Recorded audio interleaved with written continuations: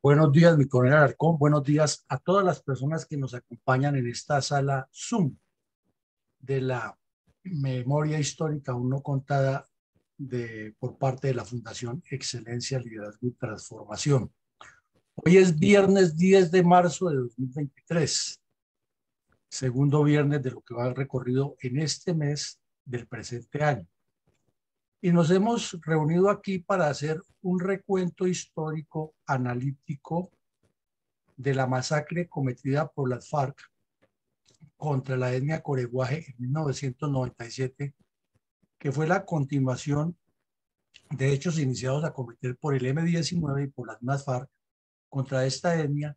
y que luego con la cantidad de crímenes, como lo veremos a lo largo de la, del conversatorio, nos queda, sin ser expertos en la materia, la sensación de que las FARC cometieron un genocidio contra esta etnia. Dicen los expertos en derecho internacional y en jurisprudencia de crímenes de guerra que un genocidio es cuando de manera sistemática, continuada y sostenida, eh, un grupo armado, legal o ilegal, eh, comete crímenes de lesa humanidad contra un grupo específico. Y como esta etnia que está al borde de la desaparición por la acción de los seres humanos que llaman ellos los blancos, o sea, de los mestizos que habitamos este país, eh, sufrió esa serie de, acciones criminales de las FARC, es conveniente ponerlo en primer plano y cuestionar una vez más al supuesto informe de la verdad, ya que lo único que hicieron las FARC fue decirles a los indígenas, a la etnia, sí, nosotros lo hicimos y aquí estamos para poner la cara, pero eso es culpa del Estado. Y resulta que eh, las leyes internacionales dicen otra cosa y el tribunal de la JEP mira para otro lado y la reconstrucción de la memoria histórica ni siquiera lo menciona eh, por parte de la Comisión de la Supuesta Verdad del señor de Rux. Entonces queremos traer hoy con datos, con testimonios y con hechos reales que no se pueden negar que las FARC han cometido probablemente un genocidio contra esta etnia y que además ha sido una etnia que está al borde de la desaparición por la misma presión eh,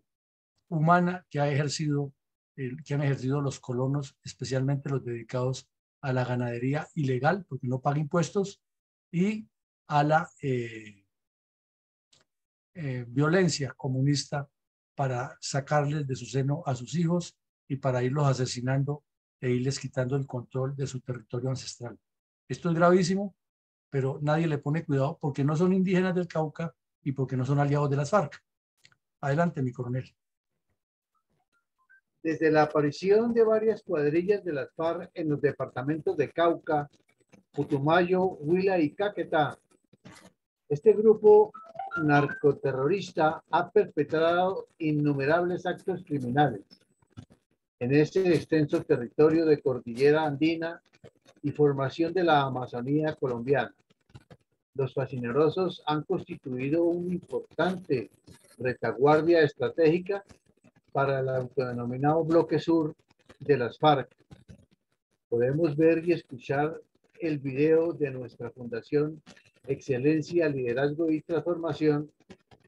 resaltando en su programa institucional la memoria histórica aún no contada del conflicto armado en Colombia, el drama de las víctimas de la agresión narcoterrorista del comunismo armado contra nuestro país, los habitantes de nuestras regiones y en general en toda nuestra nación. En este caso específico, el área rural del municipio de Milán, Caquetá, de gran importancia geoestratégica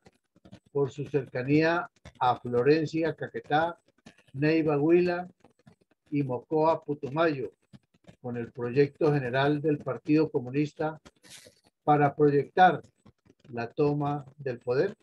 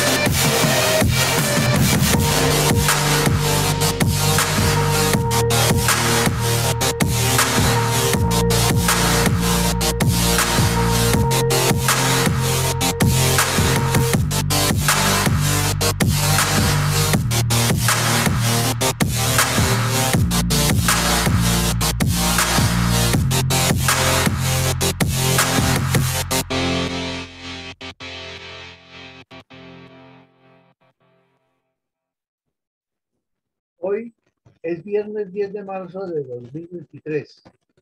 Nuestra emisión 292 del programa diario de reconstrucción de la memoria histórica aún no contada del conflicto armado en Colombia abordará algunos aportes del convulso fenómeno de violencia multiforme sucedidos en el departamento del Caquetá. ¿Cuál es la importancia geoestratégica de esta región y en particular del convulso municipio de Milán, Caquetá, en especial el resguardo indígena Coreguaje para el desarrollo del plan estratégico del grupo narcoterrorista? Bueno, mi coronel, vamos aquí a, ya lo hemos presentado en anteriores ocasiones, el análisis geoestratégico del Caquetá, pero es que es un tema que siempre tendrá mm, mucho de qué cortarle, mucho de qué analizarle y mucho de qué aprenderle para entender lo que allí sucede. Y hoy vamos a ver específicamente el, municipio de Milán, que es uno de los municipios más pequeños, tal vez el más pequeño del Caquetá, pero el que ha sufrido la conflictividad de una etnia, que además es muy especial y es una etnia muy sufrida por todos los procesos de violencia, ya que los afecta su ubicación geográfica en torno a todas las economías ilegales y los procesos de violencia que se han suscitado en este hermoso y olvidado departamento. Entonces, comencemos por recordar que el occidente del departamento eh, va en una línea de 45 grados sobre el eje cartesiano del planeta y que por capricho de las decisiones eh, políticas de quienes han eh, configurado la construcción político-administrativa de nuestra geografía, quedó con una parte de la cordillera trazada por una línea imaginaria que lo separa de los departamentos de Putumayo en el sur, eh, con la bota caucana, o sea, esa saliente que tiene con una forma parecida a la de la península italiana, el departamento del Cauca, eh, interponiéndose precisamente entre el Putumayo y el Caquetá, en un sector en el suroccidente del Caquetá, y norte del Putumayo. También vemos aquí en el mapa que ese eje de 45 grados permite que todo el occidente del Caquetá sea boscoso, andino, tropical y que tenga una de las maravillas de la naturaleza que no tiene sino Colombia, parcialmente Ecuador y, Bolivia en el continente, que es la eh, unión progresiva o la conversión progresiva, mejor digámoslo de esa manera, de la, zona andina en selva amazónica, o si lo miramos en viceversa, de la zona andina, corrido de la zona amazónica, que comienza a subir y se convertiría en zona andina. Esto es una región muy rica, es un ecosistema supremamente valioso, eh, con muchas riquezas, al punto que en San Vicente del Caguán, teniendo en cuenta esa formación, encontraron petróleo y esta noche vamos a ver un caso específico de violencia derivada del petróleo con la estulticia de un ministro que dice que el terrorismo y los crímenes que cometen las FARC y sus cómplices son cercos humanitarios. Pero volviendo al tema, entonces aquí encontramos que todo el occidente del Caquetá está o cubierto por la montaña o en la estribación y eh, la prolongación en forma eh, creciente de esa montaña en selva. Eso es un ecosistema, una un, sistema geográfico muy valioso del cual no le hemos dado importancia. Y también vemos que la naturaleza es tan sabia y perfecta que de la montaña nacen varios ríos y todos van irrigando, irrigando, irrigando, se van uniendo unos con otros, con los que nacen en el recorrido, hasta formar varios ríos que son prácticamente paralelos, prácticamente paralelos, como si la mano de Dios los hubiera puesto con un con una escuadra, un compás y con una distribución geográfica exacta. Entonces vemos que cuando ya se forma el río Apaporis al sur oriente del Caquetá, eh, va eh, haciendo prácticamente como una línea perpendicular con esos 45 grados que forma nuestra cordillera. Igual pasa con el río Caguán, que baja en una forma casi perpendicular, o con el río Yarí, que se forma de los nacimientos que hay en, eh, en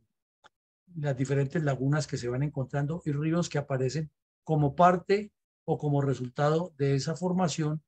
que eh, va haciendo el, el, territorio y que luego vuelve a surgir una especie de, de cordillera independiente, eh, pequeña en comparación a los Andes, pero grande en el terreno, eh, donde hay todo un patrimonio histórico de nuestras etnias, que es la serranía de Chiribiquete, que infortunadamente por falta de presencia del Estado en las últimas cuatro décadas ha sido epicentro de los bandidos de las FARC y de los bandidos del narcotráfico, que en el caso son lo mismo. Y también vemos que el río Orteguaza también formaría otra, otra línea casi perpendicular sobre ese eje y va a descender para caer a otro río que también viene en forma perpendicular de 90 grados a, los 45 que forma esta, esta figura. Y si bajamos más al sur, el río Amazonas, el río Putumayo que después desemboca en el Amazonas, también sigue el mismo eje. Entonces son detalles de la naturaleza que eh, no se entienden, no se entienden tanta perfección, tanta maravilla, y solamente Dios puede hacer eso. Pero en contraste con toda esa maravilla, el departamento ha sido eh, castigado y misericordiamente por la acción depredadora del ser humano y sobre todo por terroristas y narcotraficantes eh, y otro tipo de delincuentes que han poblado esa zona de manera nefasta y que han afectado a las etnias que son las dueñas ancestrales de estas tierras, han afectado el ecosistema y han impedido que Colombia le dé una explotación válida a esta región. Como vemos también en el mapa, solo al occidente del departamento, en la zona del pie de monte, hay algunas carreteras que no son las mejores y la, de, eh, y la que más se destaca es la que cruza la bota caucana y permite, y permite llegar a el eh, departamento del Putumayo en la selva. Tenemos aquí en este mapa, o dos mapas mejor, en el fondo en la, en la, mano, en la mano izquierda vemos este. Reiteramos la ubicación geoestratégica del Caquetá. Es todo el centro sur del país y si se pasa la frontera con Ecuador, eh, realmente es por la topografía que es un poco difícil y que la, las líneas de comunicación son malas, pero que de lo contrario, eh, el Ecuador y Bogotá estarían muy cerca, muy cerca si las carreteras y las vías de comunicación fueran mejores, existiera un buen sistema ferroviario. Y el Caquetá está atravesado ahí, eh, sobre todo en la parte del Piedemonte, ofreciendo toda su belleza, su exuberancia y la posibilidad de desarrollo o por el oriente o saliendo hacia el occidente por la cordillera, aunque un poco más difícil, al Cauca y subir. Pero no se ha podido hacer eso porque la violencia y la, la violencia comunista por un lado el narcotráfico por otro, la corrupción política por otro, que no miran sino sus intereses, pues son excluyentes y no piensan en la integración de esta región tan rica, con tanta posibilidad de prosperidad y de conservación del ecosistema como debería ser. Y vemos que el municipio de Milán efectivamente es uno de los más pequeños, porque pues hay otros que también son pequeños, inclusive el de Florencia, que no es tan grande y limita a, un poco al norte de él, y Belén de los Andaquíes, que queda ahí cerca. Son municipios realmente pequeños en comparación al tamaño que tienen los demás municipios del, departamento. Quizás Curillo sea el más pequeño, que está aquí en, en, enclavado en el suroccidente del departamento, en el pie de monte. Pero sí es un municipio pequeño en comparación a los demás. En el terreno es grande, claro, y es selva exuberante, selva bella que se podría conservar y mantener de otra manera. Y vemos que los municipios todos están también asentados en la misma zona donde hay carreteras, al occidente. Y que al oriente tenemos un extenso municipio que es el de Solano, lo veíamos hace unos días analizando el caso de un secuestro. Y eh, el otro municipio grande es eh, San Vicente del Caguán y el otro municipio grande es Cartagena del Chairá. O sea, si tomamos a los tres municipios, a San Vicente, a Cartagena y a Solano, prácticamente tenemos el 70% del departamento despoblado, afectado por la violencia, por la destrucción del ecosistema, por los grupos armados, y el 30% de la población del Caquetá eh, asentada en la región occidental del mismo, cerca de la cordillera, y a expensas del terrorismo y la presión psicológica y política de terror que les infligen, que les infligen, que les imponen estos delincuentes desde el sur oriente del departamento en la zona boscosa que están destruyendo un patrimonio de la humanidad de paso. Ahora miremos en cuanto a la ubicación de Milán geoestratégica. Y eh, hay un resguardo indígena que ni los bandidos lo han respetado, ni lo han respetado las autoridades, ni los colombianos siquiera sabemos que existe, que es lo peor. Esto por el hecho de violencia, o si no, estaríamos completamente ignorantes de que existe este resguardo que se llama el Maticurú. Y la etnia es la coreguaje. La palabra adecuada no es coreguaje, lo que pasa es que en español les decimos coreguaje, pero en el idioma de ellos es como caraguaj, una cosa así se pronuncia. Y queda eh, en Milán, Caquetá, y tiene una extensión de su ramificación más abajo en el departamento del Putumayo. Pero hoy nos vamos a centrar en la parte de la etnia que está en el municipio de Milán, Caquetá. Entonces, como vemos, mi coronel es una historia, es un conjunto, es una etnia, es una realidad nacional que la ignorancia política nos tiene a todos unidos, porque creo que si hacemos un, un quiz de verificación de conocimientos, la mayoría de los colombianos nos rajamos contestando acerca de, la existencia de esta etnia, que es una de las 115 etnias que todavía quedan en Colombia, de las cuales hay 64 en la Amazonía. Entonces, no conocemos nuestro país, no sabemos lo que tenemos y los que lo han conocido, que tampoco es que lo tengan claro qué, qué significa eso ni dónde están, son los bandidos de las FARC y los narcotraficantes que en su afán del lucro con los recursos ilegales y de asentar territorios para generar eh, violencia han ido ocupando estas zonas y afectando a un patrimonio tan valioso como son nuestros aborígenes, muchos de ellos con ancestros en las familias que ya vivimos en las ciudades y que de alguna manera podemos tener algún nexo sanguíneo con, estas, eh, con estos seres humanos. Adelante, mi coronel. Mi coronel, ¿podríamos tener un resumen de la importancia geohumana de la etnia coreguaje en el departamento del Caquetá? Pues mi coronel, gracias a que hay mm, personas inquietas, antropólogos, periodistas inquietos, eh, tenemos a una muchacha que se llama Edilma, una periodista que ha sido echada para adelante, como se dice en términos muy colombianos, y se metió por allá, hizo una investigación grandísima, ya ha publicado libros y artículos, y está empecinada en publicar todo lo que ocurre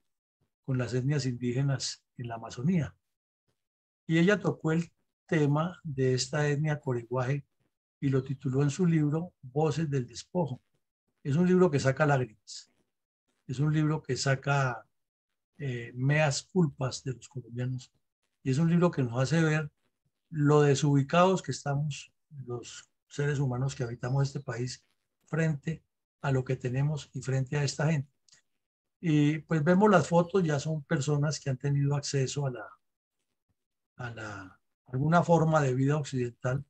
pero que en su zona, que se la fueron poblando los bandidos y los delincuentes, les afectaron completamente su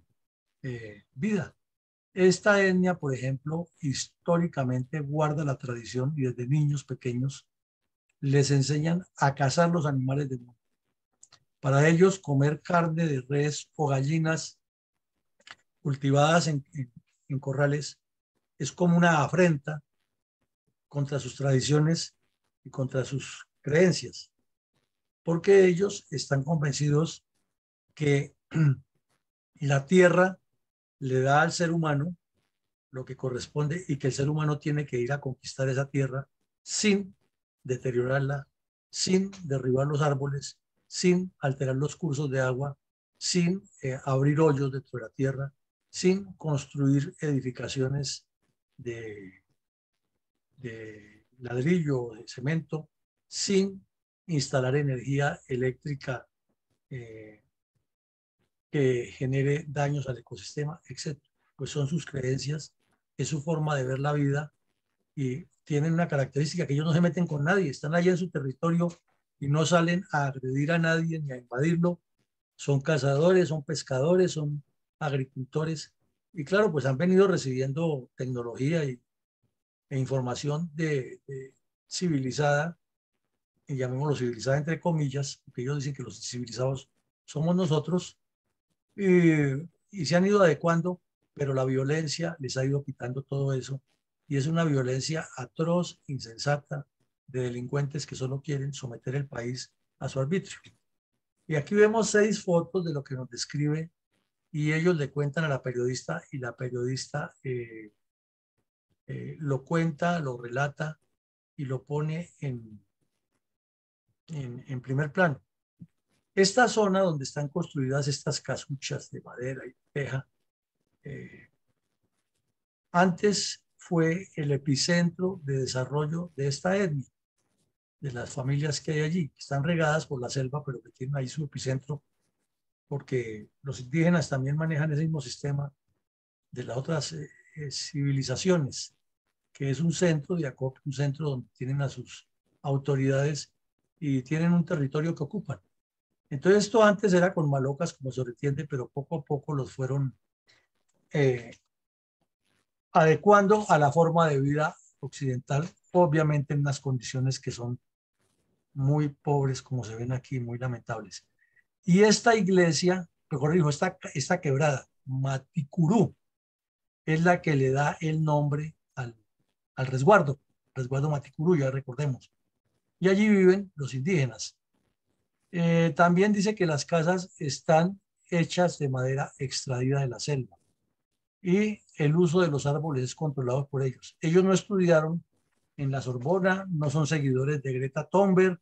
no son ambientalistas, eh, extremistas, pero tienen muy claro en su ADN y en su formación que la tierra hay que cuidarla y que los árboles son la vida y que el agua es la vida. Y es ancestral, es su formación, es su pensamiento y saben cómo derribar un árbol, cómo plantar eh, cinco árboles por cada árbol que derriban y cómo hacerle el mantenimiento a sus casas sin deteriorar el medio ambiente. Pero los narcotraficantes y los avarientos ganaderos que quieren llenarse de dinero sin pagar impuestos, descuajando selva y, e insertando animales allá a que la misma eh, naturaleza los críe y luego sacarlos para venderlos, eh, no quieren entender eh, cómo funciona esto ni cómo se debería hacer un proceso de ganadería diferente. Y vemos que los niños indígenas pues son iguales a los demás niños del mundo, juegan igual, son felices en el agua, son expertos nadadores, lo llevan en su, en su, en su interior. Eh, y aquí vemos que la periodista cuestiona en la parte inferior cómo estas personas que estaban tan acostumbradas desde niños a salir a cazar los animales de monte, pues las borugas, los guatines y los demás animales que la selva les provee, que son unas carnes muy ricas en proteínas, entre otras cosas, o a pescar, ya están haciendo, eh, siendo sometidos a los procesos alimentarios de comunidades afectadas por todos estos problemas de violencia al estilo de desplazamientos y lo que se maneja en el tema de eh, comunidades afectadas por la violencia. Y también eh, las ven aquí ya lavando la ropa con jabón que no es degradable, es biodegradable, infectando su propio territorio. Pero lo más triste es que al otro lado de la quebrada, donde su territorio es eh, sagrado, vinieron los blancos, como dicen ellos, les descuajaron el monte, las FARC amedrentaron a tiros, narcotraficantes también, y le llenaron eso de ganadería y les han destruido las fuentes hídricas y les han dañado eh, el sustento que tienen de los árboles y los han alejado de la posibilidad de cazar al otro lado del río, como estaban acostumbrados y como es la historia, sus guatines y sus animales. Eh, eso sería una pequeña descripción del sufrimiento que ha padecido esta etnia, pero habría que leer a la periodista y ojalá algún día la podamos localizar y traerla a la fundación que nos hable de eso, porque tiene mucho que contar de lo que he investigado alrededor de la tragedia de esta etnia, que repito, para el resto de los colombianos no sabemos ni que exista. Adelante, mi coronel. Gracias, mi coronel. Qué belleza de fotografías, qué belleza de terrenos, qué belleza de la tierra. ¿Quiénes son los autores intelectuales y materiales del ataque terrorista y masacre con claros visos de genocidio perpetrado por el autodenominado Bloque Sur de las FARC contra miembros de la etnia indígena Coreguaje en el municipio de Milán, Caquetá, a partir del año 1997? Diríamos que los responsables de, una, de un genocidio, como estamos insistiendo, son estos bandidos que están aquí en la foto y otros. ¿Y por qué es un genocidio? Ya lo explicamos y lo sostenemos. Porque es que en 1997 cometen una primera gran masacre, pero antes ya habían cometido otras. Y posteriormente, eh, de manera continuada, han venido eliminando a miembros de esa comunidad y todo ordenado por estos ampones que están en la foto y otros delincuentes de las FARC que han estado en esa zona causando daños. Entonces, todo el secretariado de las FARC y todo el bloque sur, y ahí incluye a Joaquín, Joaquín Gómez, a Fabián Ramírez, al Paisa, al Mocho César, a los que secuestraron a Ingrid Betancourt, a los cabecillas de todos los bloques del bloque sur que delinquen en esa zona y naturalmente a los miembros del Partido Comunista Clandestino que les hacen el juego. Ellos son los responsables y reiteramos, aquí hay unos visos claros de genocidio porque son masacres y acciones criminales continuadas contra una etnia indígena. Habida cuenta que este hecho inició a repetirse sistemáticamente desde 1997, durante el laxo gobierno de Ernesto Sanfer Pisano, en plena época de los graves cuestionamientos por las indicaciones que se hicieron a la campaña Sanfer de la calle de haber recibido dineros del cartel de Cali, ¿cómo podría evaluarse la conducta del mencionado mandatario? Pues usted toca un tema muy importante, coronel, y eso es bueno recordarse la audiencia siempre todo el agua sucia de, de haber recibido dineros oscuros del narcotráfico le cae al señor Samper y nadie nombra al señor de la calle, que era su candidato vicepresidencial y luego fue su vicepresidente. Él también tiene que ver por acción o por omisión en toda esa cuestionable conducta del señor Samper. Eso por un lado. Por el otro, en el año 1996, es decir, un año antes de que ocurriera la primera gran masacre, que no era la primera acción criminal de las FARC contra esta etnia, sino que fue una masacre muy, muy cruenta y es de la que hablaremos hoy. Mm, ahí cerquita de ese sitio, cerca a Milán realmente, en una operación que hicieron la, el batallón Diosa del Chairá, 31 de enero del 96, incautaron unos cuadernos y unos documentos en los cuales quedó muy claro que el cartel de Cali era el dueño de parte de los negocios de coca que había en la región y que el cartel de Cali le daba dinero a las FARC. Pero paralelamente, el gobierno de Estados Unidos eh, estaba presionando para quitarle la visa al señor Samper y los denuncias que había hecho Andrés Pastrana con unos cassettes que le entregó un periodista eh, de apellido Giraldo en Cali, demostraban que el cartel de Cali había financiado parte de la campaña del señor Samper. Y que inclusive de ahí el señor Botero se tomó unos dineros y por eso estuvo preso y luego se fugó del país y no ha terminado de pagar por otros delitos que tiene el señor Botero sea relacionados con esa campaña. Entonces, eh, vemos que aquí hay una gran responsabilidad del dúo de la calle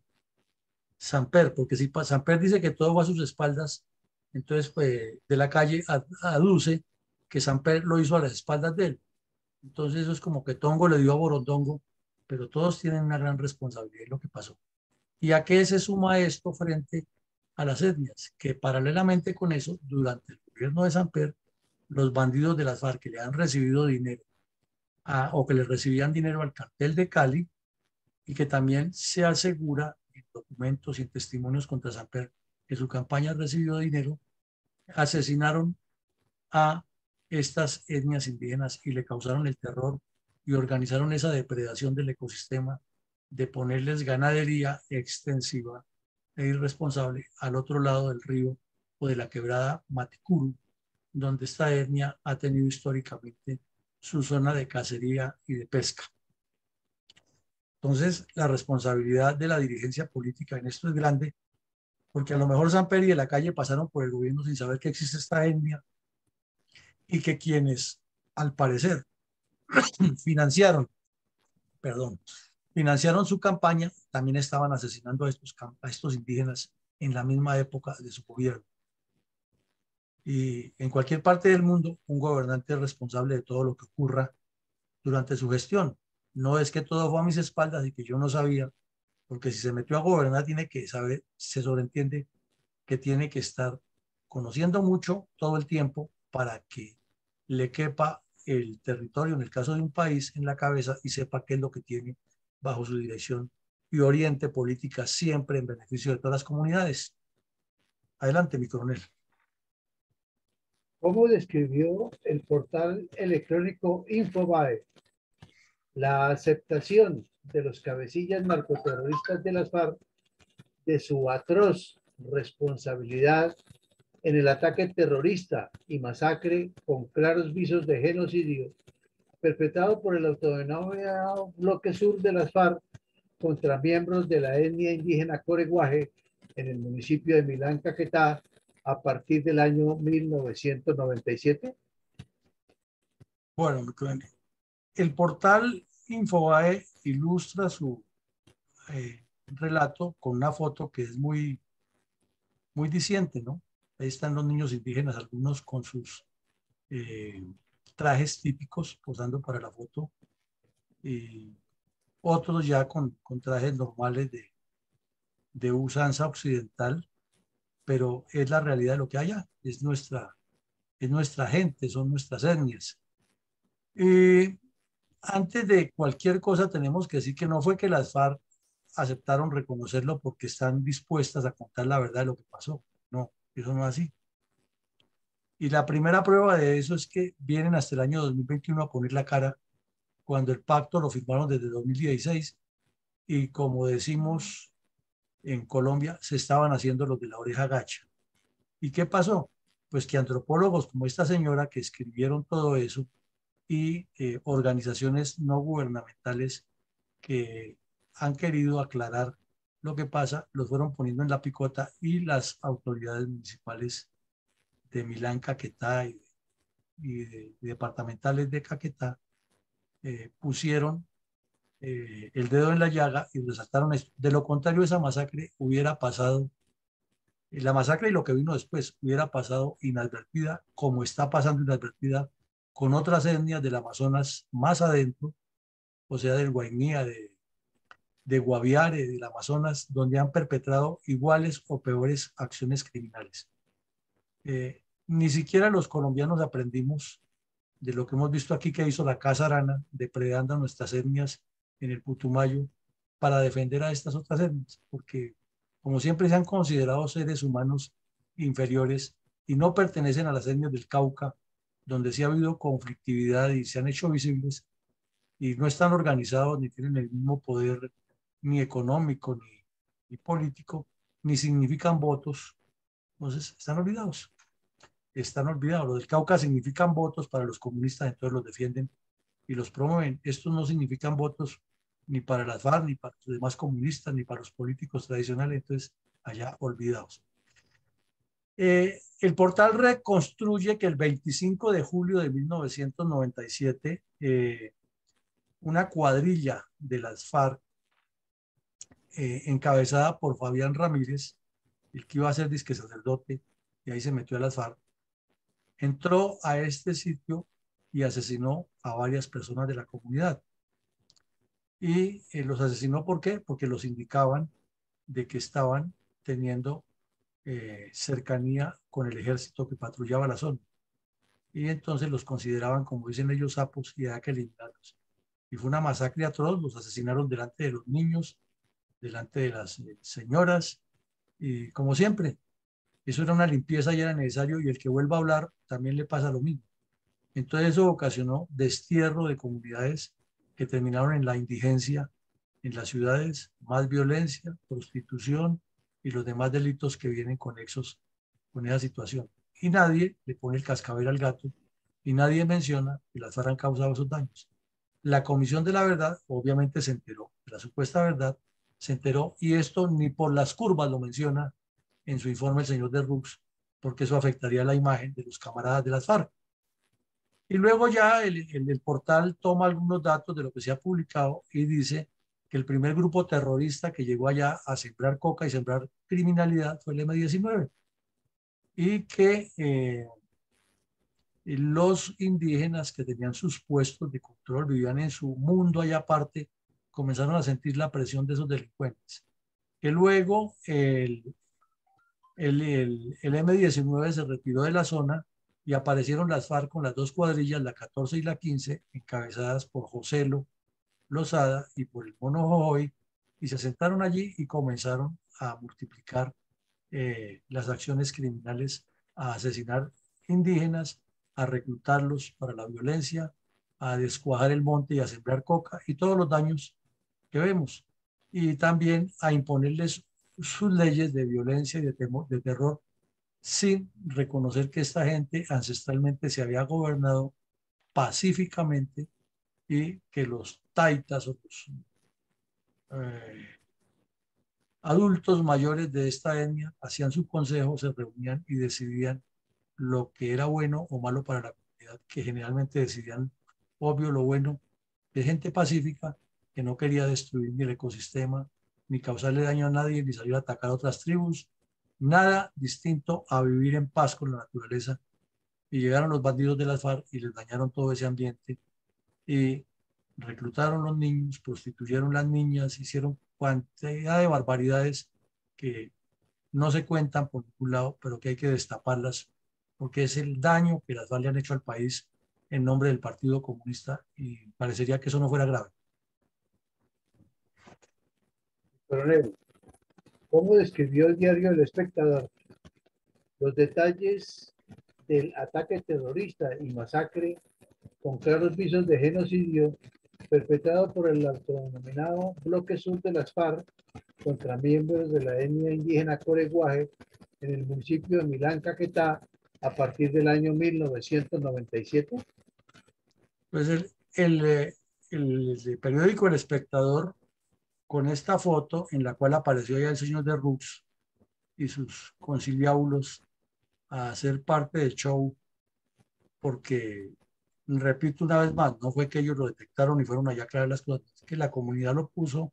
en primer plano y no les quedó otra opción. Entonces, eh, fueron los terroristas de las FARC, en presencia de los delegados del señor de Rux, a hacer el mismo show en todo el país hablar con los indígenas y a decirles que sí, que bueno, que tocaba reconocerlo, que fue un hecho desafortunado, que ellos se comprometen a que no vuelva a pasar, que eh, están atentos a que el Estado vaya a arreglar el problema porque la culpa es del Estado y de esa manera quedó en segundo plano. Pero resulta que en el mismo, en la misma crónica, el espectador publica un montón de datos que los colombianos desconocemos y que el señor de Rux ignoró en su informe. Y explica que es una etnia que eh, está en riesgo de desaparición física debido precisamente a la violencia, eh, pero le mete el puñal hasta el fondo el eh, periodista, el espectador que elabora la crónica, haciéndole un favor a los comunistas, diciendo que el ejército también tiene la culpa eh, por estar allá presente, como si el ejército fuera un grupo ilegal, pero esa es la, la, doble moral y la manera como los comunistas manejan siempre la justificación de sus crímenes. El ejército es la fuerza del Estado y tiene que estar presente en todo el país, precisamente velando por la seguridad de estas etnias y que los bandidos no le hagan daño, pero aquí le dan la vuelta y lo presentan de esa manera. Pero luego vuelve y toca y dice que eh, eh, además de esos crímenes, las FARC siguieron asesinando personas, incluyendo 65 eh, víctimas entre el año del 93 y el 2009. ¿Qué significa eso? Hablando en, plata blanca, que hay un genocidio porque es una acción sistemática y sostenida contra un grupo social determinado y en este caso humano y étnico como son los coreguajes. Y eh, eh, también resalta nuevamente que es que además del daño físico que han sufrido, estas comunidades, está el espiritual por el daño que le han causado a sus ancestros. Y eh, relatan también aquí que son hechos que no se han investigado con profundidad y que en estos 24 años que abarca el periodo de la masacre más conocida, porque hay otras anteriores al, 2000, al 97, mmm, no se ha establecido con claridad por parte del Estado colombiano la responsabilidad de la FARC, ni mucho menos se ha judicializado. Y así terminaron eh, eh,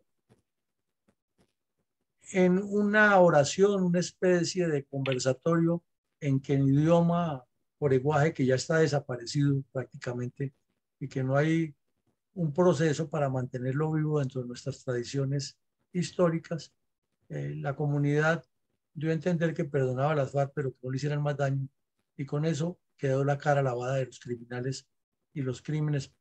para eh, las FARC quedaron ya en el olvido y ya les dijimos la verdad, tienen que perdonarnos y entregarnos el país. Más o menos es la síntesis de eso.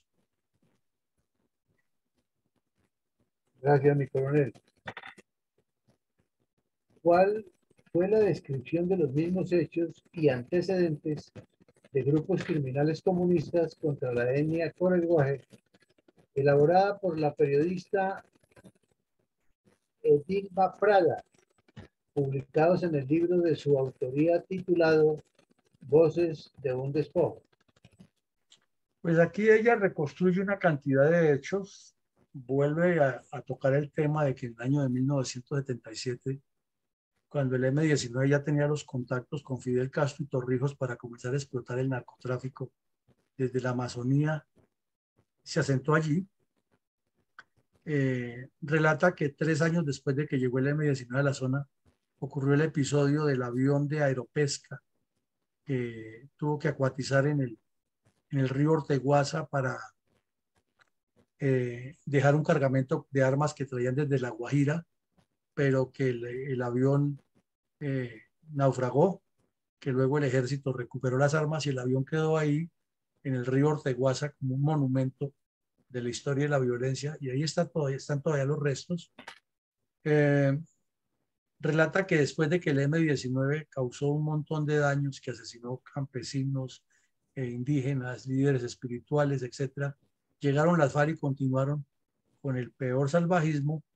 Y en el libro Voces de un despojo, sus 12 historias que deja la guerra, eh, que fue publicado por eh, Conrad Adenauer, una ONG aquí en Bogotá que financia la Embajada de Alemania y ciudadanos alemanes, se publicó ese documento. Y vuelve y puntualiza con mayor claridad que entre el 97 y el 2000, o sea, durante la época del final del gobierno de Samper y, y la parte más dura de la zona de distensión y lo que ocurría por parte de las FARC, eh, se logró por parte de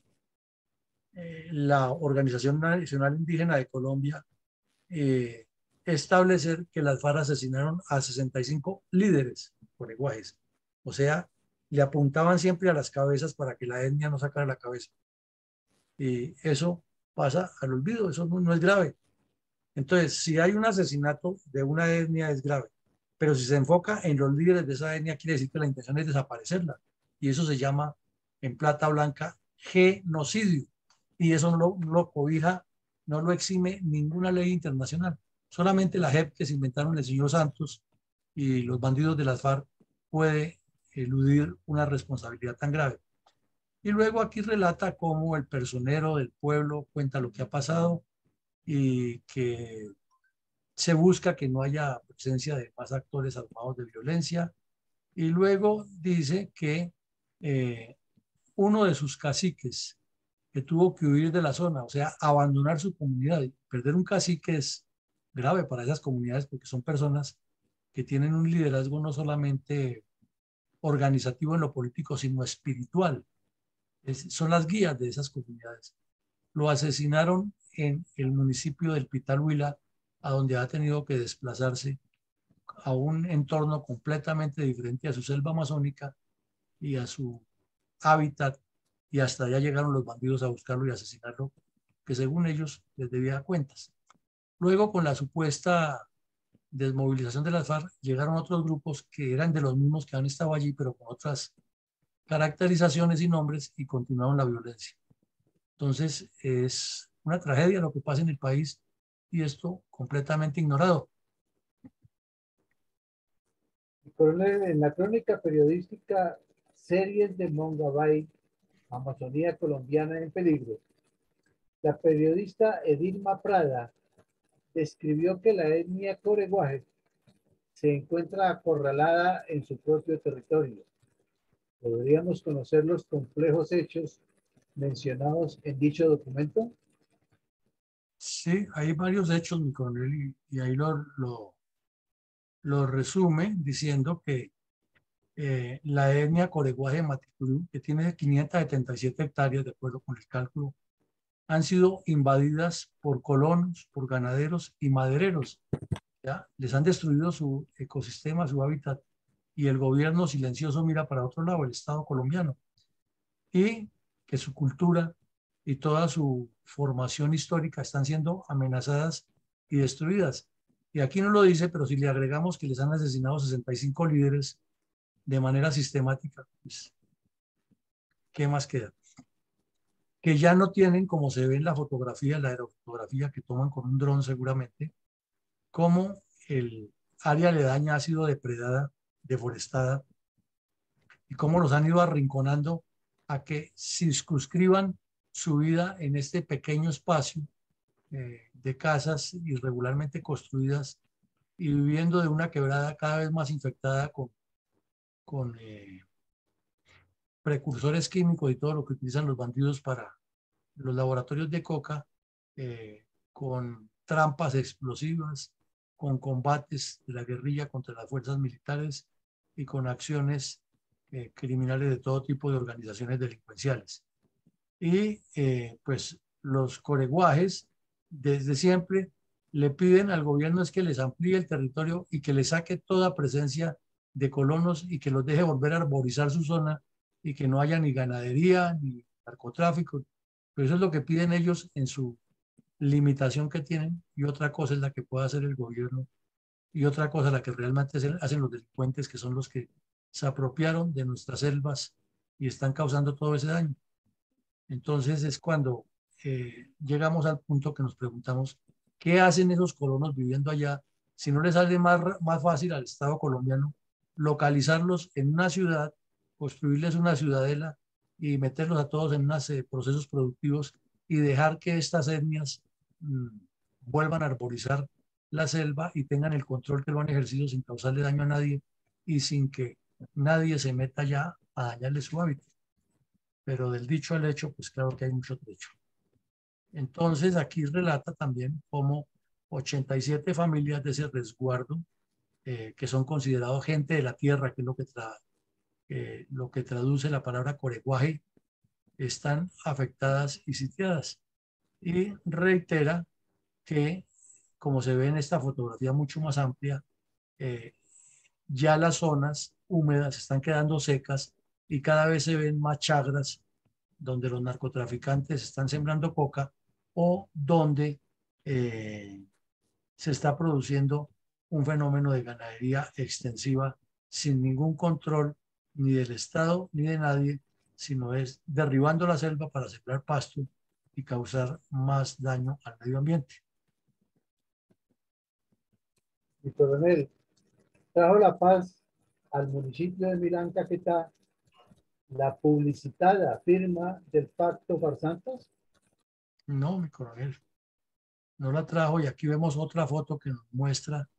que si no hay paz con la naturaleza en las etnias que que viven de la naturaleza, mucho menos la va a ver eh, en la relación de los seres humanos. Eh, muestra aquí cómo han quemado, porque esa es la forma más fácil de derribar monte, para no desgastar a nadie, le prenden candela y entonces el monte arde y va desapareciendo y en la medida que va desapareciendo la selva, la van eh, eh, llenando de pasto, de ganado o de cultivos de coca y cambia eso diametralmente y al lado de eso pues siempre está la violencia. Entonces diríamos que ese proceso no lo, no lo no, no sirvió, proceso de Santos con las que inclusive eh, contempla dentro de su estructura del eh, cuerpo del documento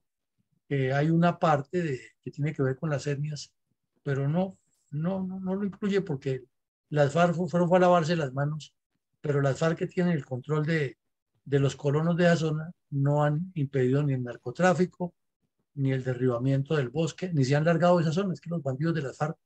no deben estar allá. Allá no deben estar sino las etnias indígenas y el bosque. ¿Cómo resalta Fundel la memoria de los niños víctimas de la crueldad y la sevicia de las FARC y en este caso específico con el ataque terrorista y masacre con claros pisos de genocidio perpetrado por el autodenominado Bloque Sur de las FARC contra miembros de la etnia indígena Coreguaje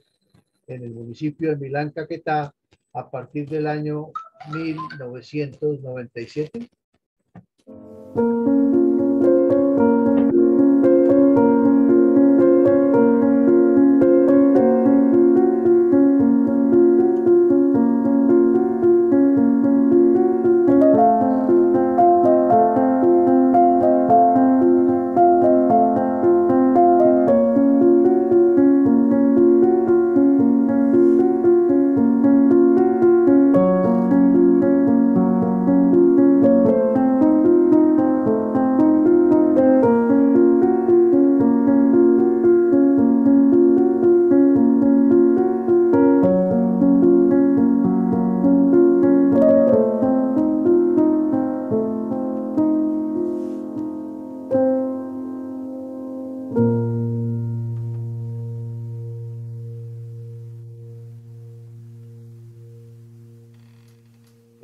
La que se expresa con este video. Al término formal de cada episodio de la memoria histórica aún no contada, del conflicto armado que realiza nuestra Junta de Acción, el coronel siempre hace un balance puntual de reflexiones respecto a los hechos del conflicto que analizamos a diario en este espacio de opinión y estudio científico de la violencia comunista contra Colombia. ¿Cuáles reflexiones estratégicas tiene hoy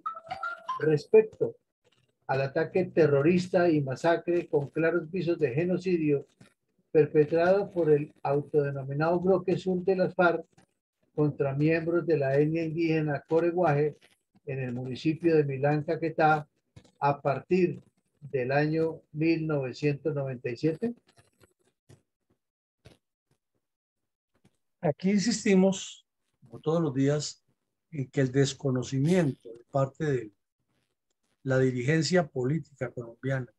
de la academia, de los medios de comunicación y los generadores de opinión y los analistas políticos de cuál es la estructura, la orientación y los objetivos claros del plan estratégico de las FARC es una de las causas en que eso termine hasta en complicidad consentida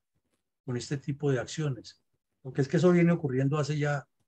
casi 40 años, esa acción criminal de las FARC contra estas etnias. Y solamente se puso sobre el tapete en 2021 con un acto publicitario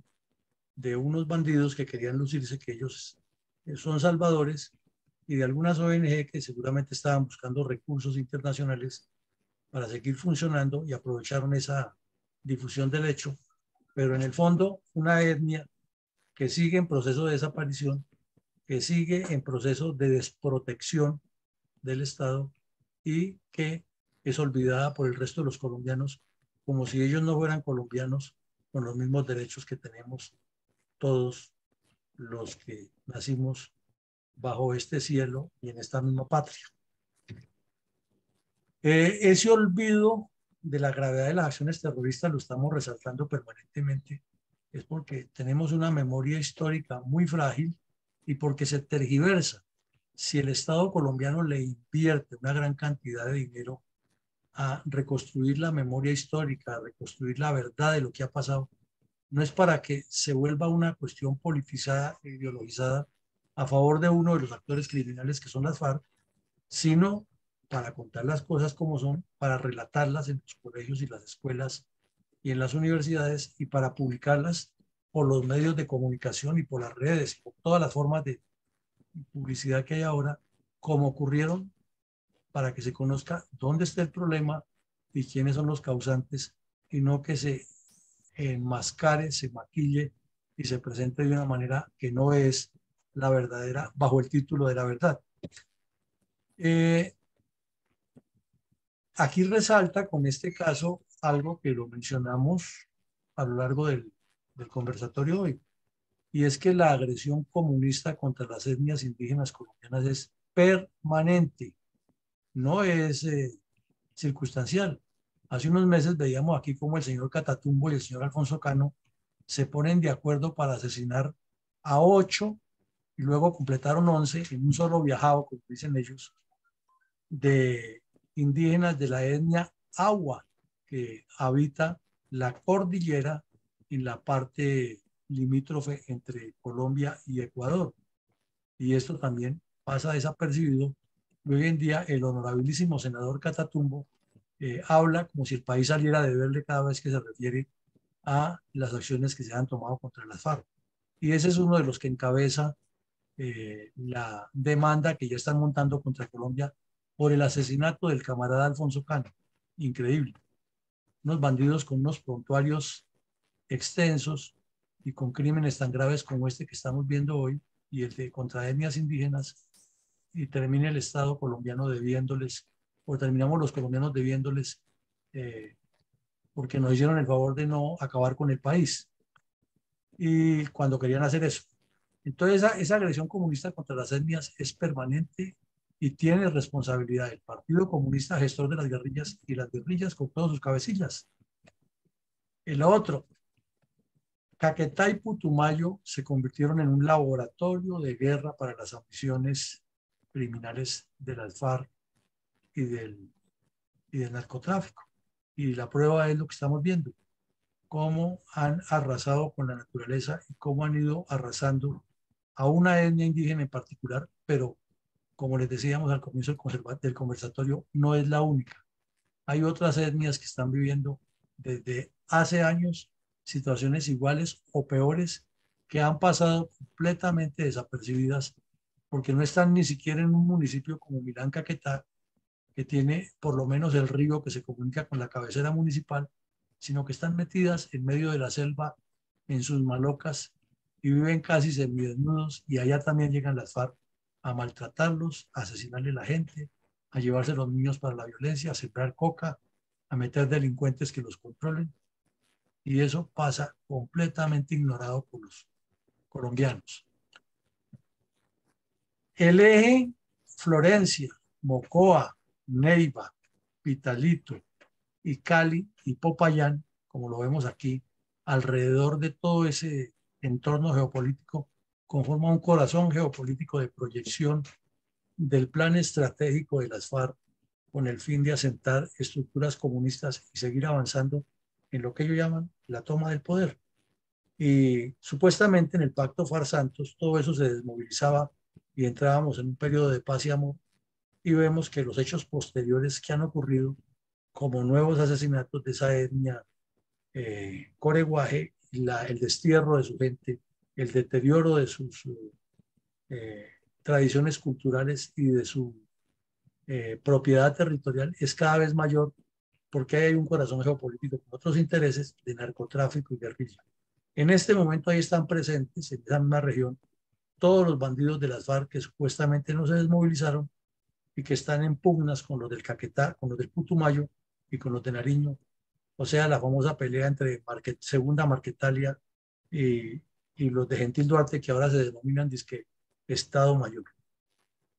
Eh, entonces, ese corazón geopolítico está vivo para la violencia y muerto para el futuro de la etnia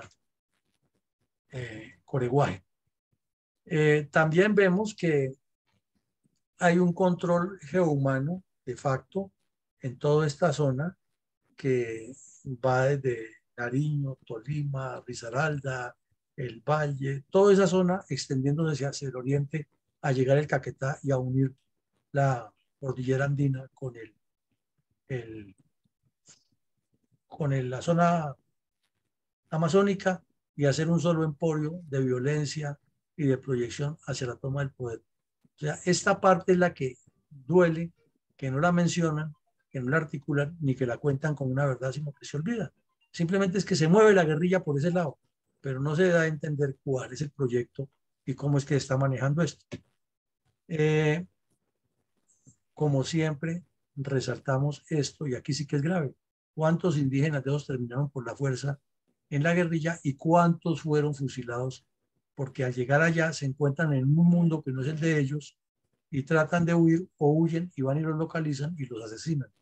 Y si no los localizan a ellos, entonces asesinan a su familia para presionarlos a que se presenten y vuelvan a la guerrilla. Y lo mismo con campesinos menores de edad de los colonos que han llegado allá a, a buscar sobrevivir porque el Estado colombiano ha sido incapaz de resolver esos problemas de desplazamientos de violencias en otras partes que además son instigados por el Partido Comunista y entonces aquí se vuelve una bola de nieve y un círculo vicioso que parecería no tener fin.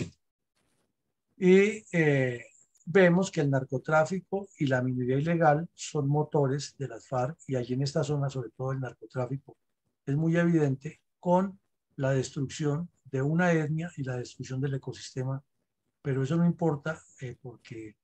lo que valía era que se firmara un, premio, una, un acuerdo para que hubiera un premio Nobel de Paz y que los bandidos fueran allá sonrientes a decir que sí pasó, pero que la culpa es de otros y aquí seguimos. Y nuevamente insistimos, ese triángulo que es el que no nos deja salir del problema, cómo se maneja. Los nexos internacionales de quienes desde el exterior, por ausencia del Estado colombiano, le hacen la difusión al problema a favor de las FARC, mientras aquí cometen actos de terrorismo y siempre hablan de diálogos, porque la solución es el diálogo, pero no el diálogo que necesitan todas estas comunidades para resolver sus problemas, sino el diálogo que le conviene a las FARC para seguir avanzando hacia la toma del poder. Entonces, un círculo vicioso que no parecería entenderse o no quisiera entenderse. Eh, ese es. Entonces, adelante con sus comentarios. Coronel, comentarios analíticos de el señor coronel veterano de la Fuerza Aérea Colombiana, Iván González Urán. La agresión de las cuadrillas bandoleras adoctrinadas y organizadas por el comunismo, no se ha limitado únicamente contra la desprotegida población del campo colombiano, debido al aislamiento en que se vive, sino también a las apartadas comunidades aborígenes, que por el difícil acceso a las autoridades no logra el gobierno darle la suficiente protección vulnerabilidad que aprovechan los bandoleros de las FARC para esclavizarlos y arrebatarles sus tierras y las pocas cosechas que logran producir rudimentariamente por sus reducidos recursos.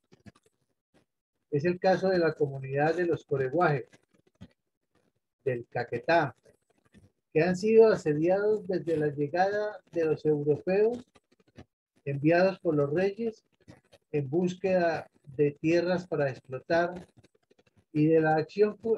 colonizadora religiosa enviada por los papas en conquista de almas para el cielo. Pero este proceso no es suficientemente libre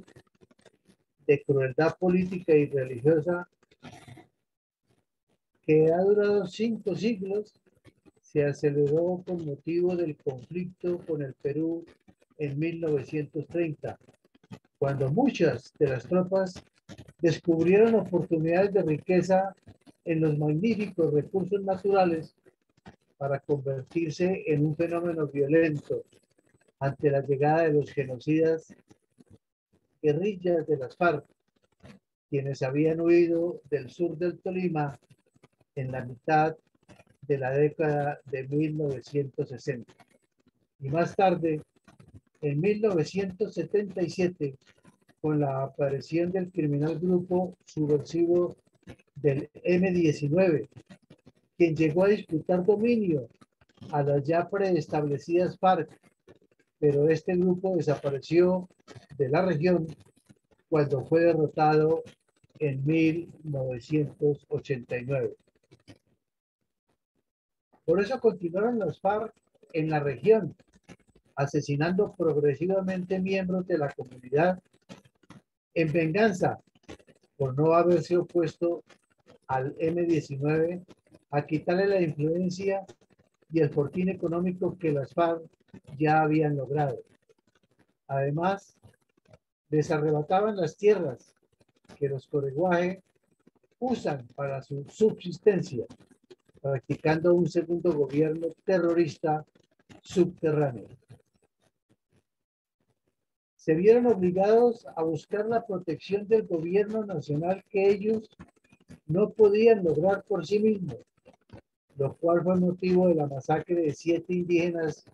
en 1997. A partir de este hecho,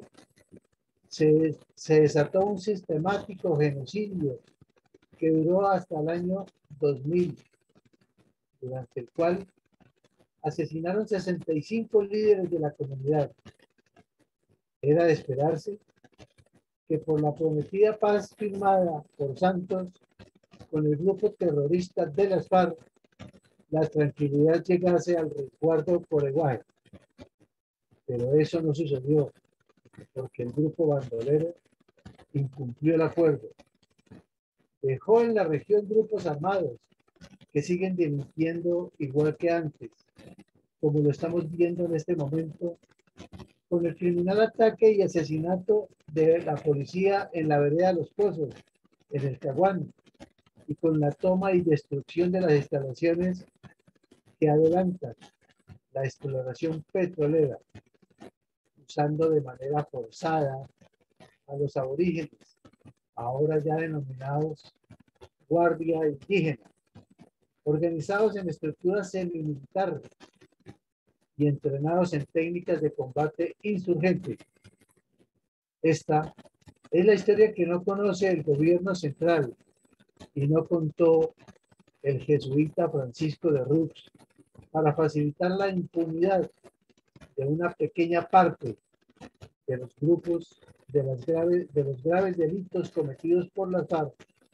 tan solo contra esta comunidad indígena y detrás de ello contra la ley y el orden nacional. Muchas gracias, coronel. Iván González Urat. Bueno, mi coronel, mi coronel González ratifica todo lo dicho, le hace unos comentarios y le agrega la incapacidad del Estado y la irresponsabilidad de distintas dirigencias frente a esta realidad y sobre todo la tergiversación de la verdad o el ocultamiento intencional que hay de algo que debería estar en primer plano y no tanta demagogia alrededor de un problema y lo que tiene son hechos concretos y no necesita tantas explicaciones sino acciones de solución. Mi coronel, tenemos la visita en el Facebook y el aporte de, del Socorro Montoya Restrepo. Saludos cordiales, excelentes reflexiones. Gracias por la luz de la, a la verdad y a la historia de Colombia. Gracias por la oportunidad de escuchar tan interesante programa. Mi comentario en el día de hoy dice lo siguiente. Nada ni nadie se les escapa a estos narcoterroristas. No hay respeto alguno por la vida de los demás. Y en nuestro sufrido país sí que es evidente, ya que se cuenta con el beneplácito de acuerdos amañados y una justicia que verdaderamente cojea y se hace la ciega, sin importar los derechos humanos y el derecho internacional humanitario como en todo país civilizado que acata la ley y los principios traídos y traducidos por Antonio Nariño con la Declaración Universal de los Derechos Humanos de la Revolución Francesa, basándose en la libertad, la igualdad y la soberanía popular,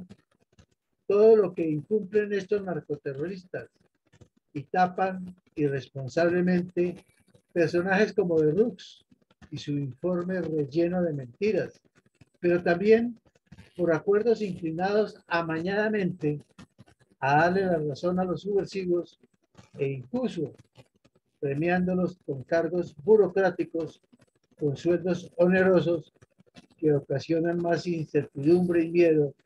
entre las gentes de bien que habitamos nuestra patria.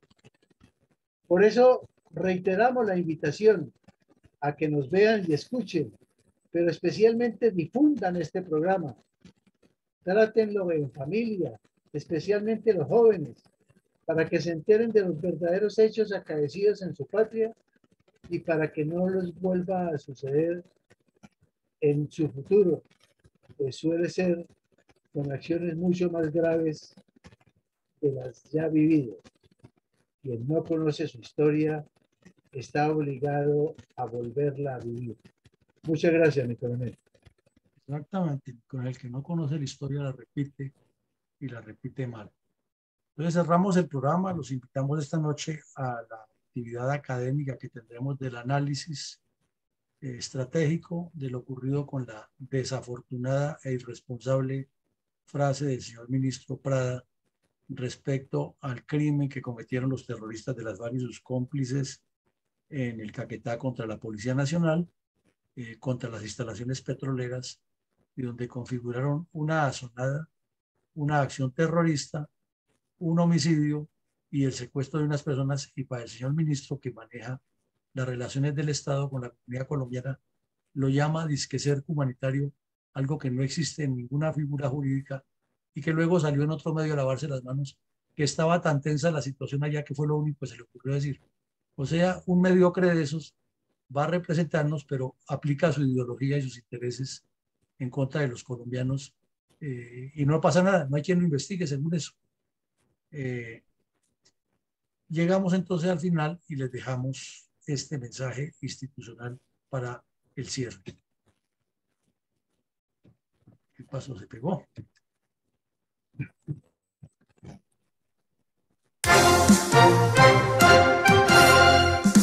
Invitado nuevamente para que todos los días, de lunes a sábado, de 7 y 30 a 9 de la mañana, se conecte a las redes sociales de la Fundación Excelencia, Liderazgo y Transformación a escuchar en la voz de sus protagonistas la verdadera memoria histórica de la violencia desatada durante varias décadas por las guerrillas izquierdistas contra Colombia.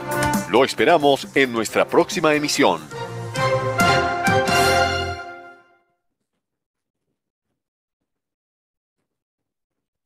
Muchas gracias.